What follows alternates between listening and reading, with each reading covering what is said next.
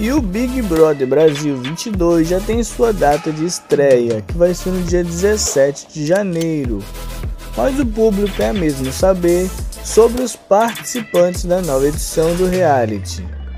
E apesar de muitos nomes de artistas circularem entre os mais cotados para entrar no programa, a produção ainda está na fase de seleção, etapa que acontece nos estúdios Globo. E de acordo com o site Observatório da TV, no portal UOL, nenhum nome foi confirmado ainda. O que se sabe é que os famosos do grupo Camarote e os anônimos, classificados como pipoca, serão anunciados todos juntos no dia 11 de janeiro, a menos de uma semana antes da estreia do programa. Além da data de estreia do anúncio dos participantes, a emissora também liberou a previsão para o término do programa, que esse ano terá Tadeu Schmidt pela primeira vez no comando do reality.